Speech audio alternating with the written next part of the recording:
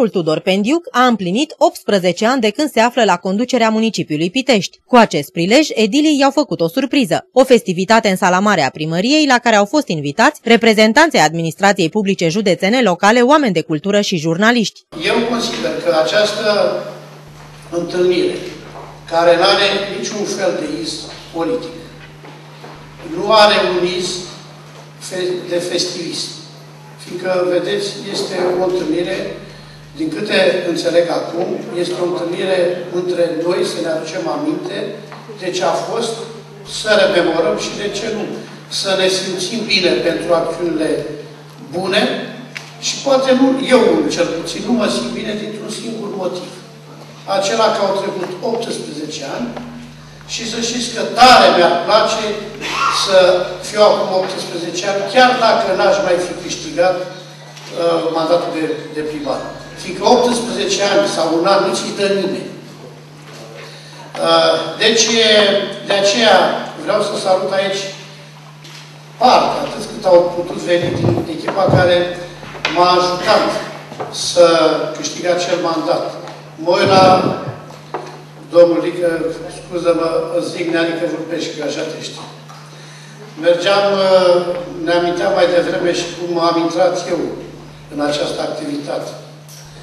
Uh, domnul Izescu, în campania electorală din 92, bine, un condere se, se știe, renumit și uh, la fel ne-a ajutat. Sigur, nu am început cu dumneavoastră tocmai ca să, că așa e bine, să nu încep cu șefii, că nu e bine să încep cu ei. Cu domnul Cârstoiu cel care este unul dintre vinovați că eu sunt în administrație.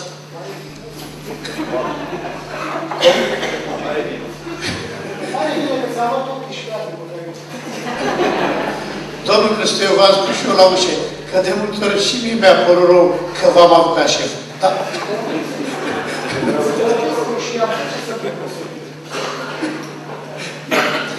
Uh, trebuie să mi-aduc aminte cu mare plăcere de de mulți dintre, dintre cei care au fost. Sigur, mi-aduc aminte cu plăcere și de domnul Golescu, care mi-a fost contracandidat în uh, prima bătaie, prima bătălie electorală. Dânsul era atunci la PUNR, parcă nu? Vatra românească, da. Sigur, acum, oricum sunteți la Vatra Piteșteană, categoric. Da. Nu pot să nu mi-aduc aminte de acele dueluri și porniri pe care le avea, l-a avut o parte, le-a avut o parte din Consiliul Local de atunci. Și voi la Dan Pansoiu, mulțumesc, Dane, că ai venit, el era redactor șef sau finanțator la, la ziarul Imposibil. Chiar era imposibil. Așa. Dar și tot atunci era imposibil. Dar acel imposibil a făcut mai târziu, ca mai târziu, domnul consilier Dan Pansoiu atunci să devină, a făcut posibil ca să vină un foarte bun consilier local cu care de foarte mult m-am de multe m-am sfătuit și atunci și mai târziu și și acum. Mulțumesc, Dan. Domnul Amza, la fel, când a venit în Consiliul Local, dă la Fălpâneagă, ai fost comunist. Nu, stai puțin, că mai vedem. După care, mergând și uh, fiindcă am învățat cu toții să-și dea seama că, de fapt, și și-a dat seama, și chiar vreau să-l felicit, că nu tot ce a fost înainte a purtat pe cetaia comunist și face treabă, treabă rea. Și ne-am adaptat și am făcut în continuare lucruri. Mi-amintesc de primul Consiliu și consilieri noi, fără o experiență în domeniul ăsta, dar vreau să vă mărturisesc cu sinceritate că poate a fost pentru prima dată când Consiliul ne invita la meditație vis-a-vis de proiectele de hotărâri pe care domnul primar le spunea spre aprobare și vă mărturisesc că n-am greșit niciodată. Greșeala pe care puteam să o facem se evidenția prin numărul de proiecte de hotărâri de, hotărâri de Consiliu atacate pentru legalitate de către prefect și anulate de către instanța de judecată. Au urmat mandate după mandate, cu greutăți și necazuri, cu cheltuieli foarte multe, cu a fost mai multe. Aplicația din administrația publică nu trebuie să vă spun, poate, poate o parte știți, poate o parte nu știți, este deosebit de complicată, necesită o pregătire profesională extraordinară de... Vreau să spun că în anii aceștia de adolescența domnului, iată să vă acum 18 ani de carieră, am făcut o carieră strălucită. Ne-am convins în toți acești ani, altfel nu votam, cei care l-au votat, evident, că probabil că în sală sunt un 2-3 care nu l-au fi votat, sau nu. N-am proteste, înseamnă că l-am votat toți, nu? Așa. Uh, ne-am convins că este un om, la noi la țară se spune dezghețat. Uh, pe deasupra, m-am convins că nu e rău să ai în frunte om intelectual. Știți bine că vine dintr-o zonă serioasă, a matematicii, a informaticii și asta a dovedit-o. Cu timpul și-a lărgit orizontul și a dus către zona economică, a relațiilor economice, naționale și internaționale și a luat un doctorat. Mă gândesc cât de repede au trecut ani, ia câte s-au dus 18 ani, eram niște tineri entuziasmați care doream ce voiam noi de fapt atunci. Nu vreau politică, nu vreau nimic, vreau să se schimbe ceva și am rămas cu același crez că totuși ceva în România va trebui să se schimbe. Mai devreme să mai târziu. Acum că nu mai sunt un politician, pot să mă amintesc deschis și liber despre începutul carierei domnului Petru și pot să vă mărturisesc că sunt autor pornit, intrării dânsului în această carieră administrativă. De ce?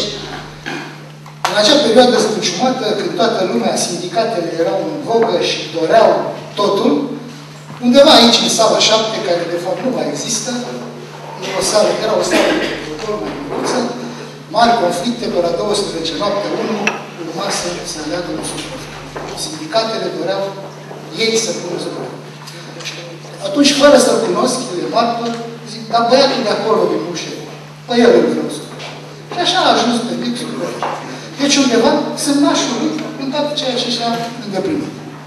Eu îi spun prietenul meu Tudor Pendiuc, fost actual și viitor, indiferent de ce ne va spune lumea, s-a prezentat singur 18 ani și trebuie să ne prezinte loc.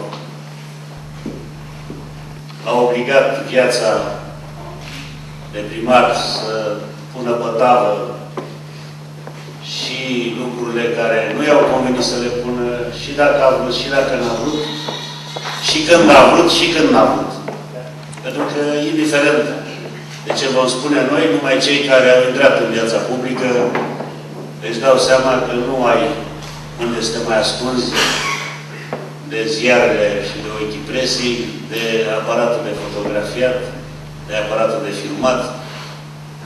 Și cred că lucrurile acestea lasă urme adânci, în general, în caracterul celor care ajung să reziste într-o viață publică.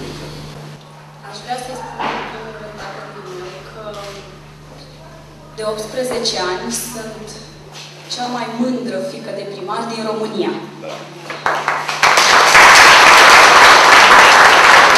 Și că 18 ani, o parte, jumătate din cei 18 ani am petrecut acasă și o altă parte am petrecut-o aici în primărie, alături de copii, oamenilor minunați care se află în această sală. Am crescut împreună alături de fiul și fica doamnei și domnului Țintilă, alături de fetele doamnei Boncea, alături de fetele Monicăi Corfescu și alături de toți ceilalți copii care acum sunt de seama mea și sunt bine realizați peste tot.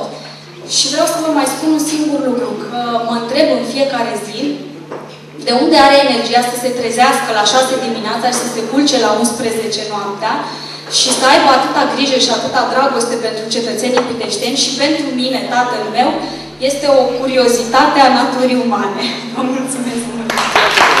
În cadrul festivității a avut loc și lansarea cărții cu titlul Un alt fel de majorat, 18 ani de primărie, 18 ani de viață, lucrare care cuprinde repere importante din activitatea primarului Tudor Pendiuc. Volumul a fost coordonat de Iosif Cerbureanu, Carmen Neacșu, Marcela Bădescu și Jean Dumitrașcu.